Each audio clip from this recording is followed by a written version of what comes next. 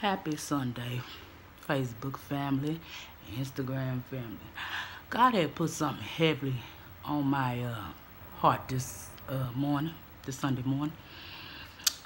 You know, you uh, uppity Christians, because I'm Christian too, but some of y'all, some of y'all Christians forget how y'all was before y'all, before y'all walked with Jesus, and uh.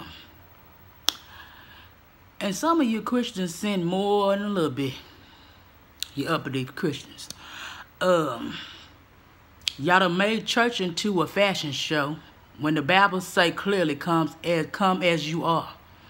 And y'all all are guilty of uh, passing judgment. The Bible said thou shall not pass bad judgment, pass false judgment on one another. That's one of the Ten Commandments. And y'all break it commandment all the time. And y'all turn a lot of people, lost, lot of lost souls want to come to church, but y'all turn church into a competition and a fashion show. That's why we got so many lost souls in the world because they come, they scared to come to God because of y'all uppity Christians, because y'all don't forget where y'all come from. And I know I'm gonna step on a lot of people's toes, but I don't care. And I'm yes, I'm saving. I'm a child of God, honey. And uh.